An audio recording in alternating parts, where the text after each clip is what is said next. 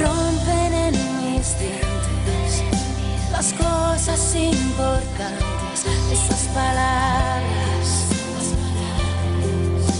que nunca escucharás y las sumerjo en un lamento, haciéndolas salir, son todas para ti, una por una.